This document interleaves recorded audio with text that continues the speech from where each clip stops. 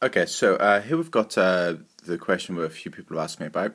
3e to the x plus 4e to the minus x equals 8. Uh, what I first of all notice is that it's got e to the x, um, and the x that we're trying to find is the power, so we're probably going to have logs involved here. Uh, second thing is that I notice there's three consecutive powers, e to the x, e to the 0x, and e to the minus x. You know, you've got decreasing powers of x. Um, what would be nice is if I could get rid of this e to the minus x. So what I'm going to do is I'm going to multiply through by e to the x. So I'm going to times the whole thing by e to the x. So doing that would give me um, 3, now just e to the x times e to the x. Remember you add the powers, so that would be e to the 2x. Um, yeah, so this is going to be 3 e to the 2x plus here you're going to have 4 e to the minus x times e to the x. Well, minus x plus x is e to the 0.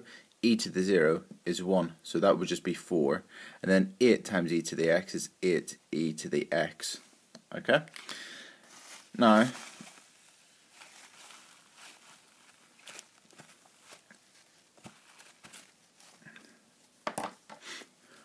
if you um, if you now look at this, you've got 3 e to the 2x plus 4 equals 8 e to the x. Um, now what I'm going to do is I'm going to bring everything over to one side. That'll give you um, 3 e to the 2x plus, or oh, minus, minus, minus 8 e to the x plus 4 equals 0. Now, let's look at this e to the 2x for a minute. Uh, this e to, uh, 3e to the 2x, you've got 3e to the 2x. Now, looking at this e to the 2x for a minute, yeah, that can be rewritten as different things. Yeah, that can be rewritten as e to the x squared, like that. The reason is, remember, if you've got a power to a power, you can times those two together. Like, so e to the and then you times these two together, you'd get e to the 2x if you times those two together. So this is the same as that. Okay, so you're going to rewrite that to get 3e to the x squared minus 8e to the x plus 4 equals 0. This just looks like a quadratic now, okay? So let y equal e to the x so you're going to get 3y squared minus 8y plus 4 equals 0. Let's factorize this. See how good I'm doing that on the spot. Uh, 3y, y, uh, 2, 2 minus 2 minus 2, minus 2 minus 2. Uh, yep, that would work. So you've got, over here. So we've got um,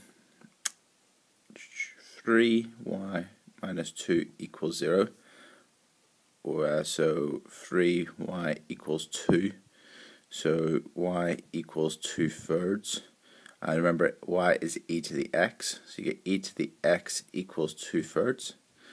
And for the other one you get y equals 2 and so e to the x equals 2. And let me just rub this off and finish it off.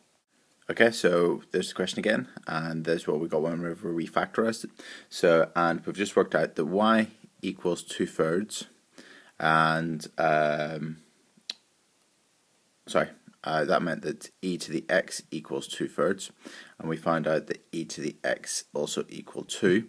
Now I take the natural log of both sides, that's going to give you uh, x equals ln 2 thirds and taking the natural log of this side x equals ln 2 okay? So there's your answers. x equals natural log of 2 thirds and x equals natural log of 2